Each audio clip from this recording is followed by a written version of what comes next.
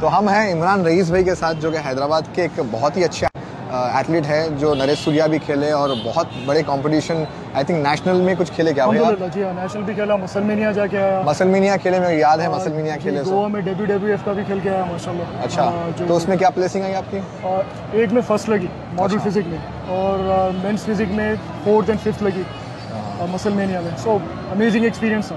तो इमरान भाई के बारे में एक बात बोलना चाह रहा हूँ बहुत कंसिस्टेंसी है। बैक टू बैक कॉम्पिटिशंस खेलते रहते एक, एक अलग जुनून है। इसके अलावा ये भाई का प्रोफेशनल जॉब नहीं है नहीं। कि अलग जॉब करते हैं। I I actually from the IT background IT में आईटी में रह के पूरी रात आप जग के सुबह में वर्कआउट करते हैं। तो भाई ये मोटिवेशन रहता है एक जुनून बोलते ना भाई। जुनून से बॉडी बिल्डर बनता।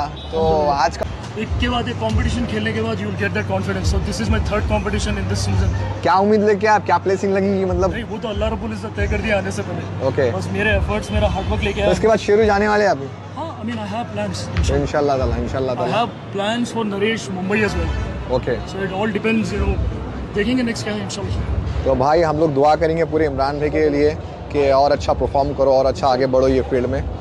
तो देखेंगे अब दूसरे एथलीट से मिलेंगे